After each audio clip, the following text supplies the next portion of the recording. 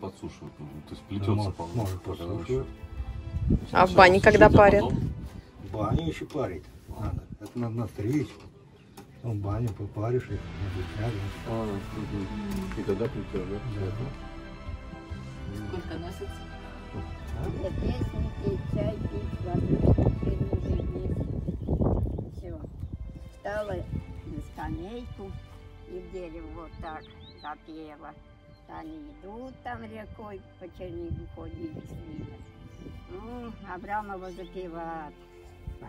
И ложку, да, вымою. Он мне попробует.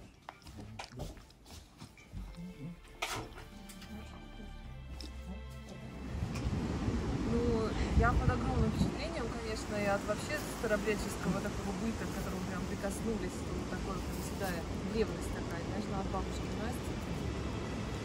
Такое что-то удивительное. Сердце. Да.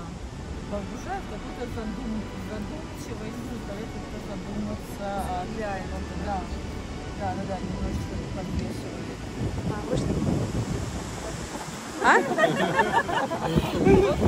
Я могу повторить. Девочки, вам понравилось? Мужчина?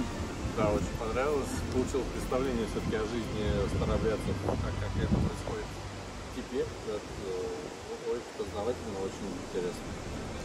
Спасибо большое, вы были большие молодцы. Мы прошли такой длинный путь. И я хочу сказать, вы прям по полю это что-то.